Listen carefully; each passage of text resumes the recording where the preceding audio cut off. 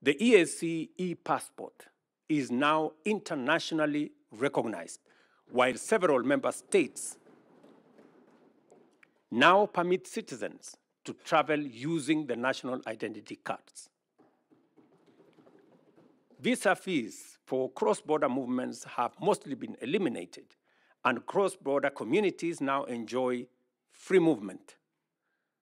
Students can enroll and transfer with greater ease the regional to, and, regional institutions now implement mutual recognition agreements for various professional qualifications.